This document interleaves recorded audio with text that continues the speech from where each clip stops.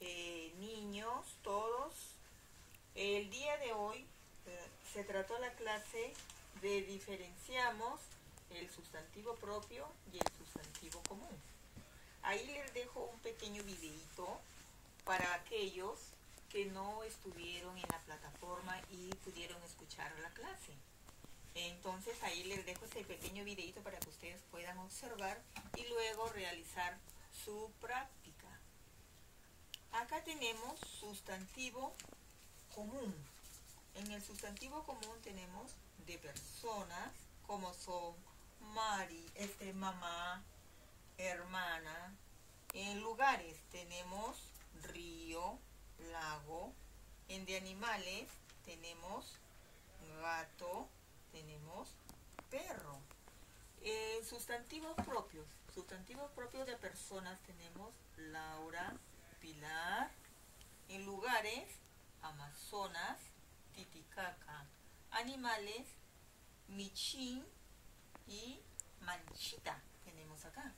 Oh, chicos, me estaba olvidando. Acá tenemos dos amiguitos que nos están acompañando el día de hoy. Esas dos mascotitas.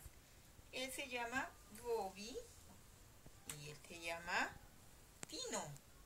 Ah, ellos dos amiguitos nos están viendo ahí el día de hoy la clase, están observando. Acá tenemos chicos, unas pequeñas oraciones. En estas pequeñas oraciones vamos a seleccionar los sustantivos comunes y los sustantivos propios.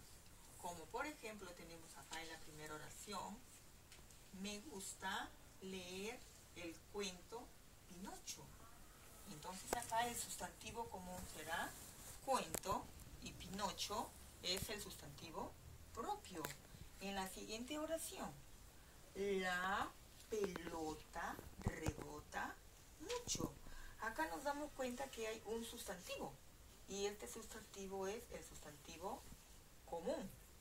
En la siguiente oración tenemos los niños van de paseo. Acá también vamos a darnos cuenta que hay un sustantivo común. ¿Habrá un sustantivo propio por aquí? No hay. Luego en la siguiente oración tenemos María ha crecido mucho.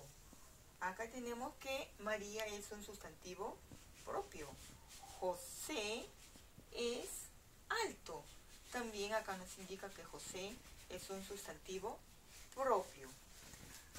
En la parte de acá abajo tenemos los sustantivos propios que he encontrado acá en las oraciones y los sustantivos comunes que también he encontrado acá en algunas horas, oraciones. Acá tenemos a nuestros amigos que nos acompañaron el día de hoy, Bobby y Tino. Bobby y Tino son nombres propios de, ani, de animales. Esto que yo he nombrado acá y esto que yo he nombrado acá, esos solamente no serán sustantivos propios ni comunes. Hay infinidad de sustantivos propios y sustantivos comunes. Estos son pequeños ejemplos que he estado dando para que ustedes puedan entender la clase y puedan hacer la tareita que nos indica acá. La tareita que nos indica acá nos dice, encierra con, rojo los sustantivos propios y con azul los sustantivos comunes. Acá dentro de este listado hay sustantivos propios y sustantivos comunes. Los propios los van a encerrar con el color que indica. Y los comunes también con el color que está indicando. Uno con rojo y el otro con azul. Bien amiguitos, espero que esta pequeña explicación les sirva para que ustedes puedan hacer su, su tareita. Nos estamos viendo chicos y chicas hasta la próxima, igualmente a las mamitas, ¿no? Y apoyarle a los amiguitos, a, este, a los mm, así pequeños, ¿no? Para así poder seguir avanzando. Se despide mi amiguito Bobby y se despide mi amiguito Tino. Nos despedimos. Hasta la vista. Nos vemos.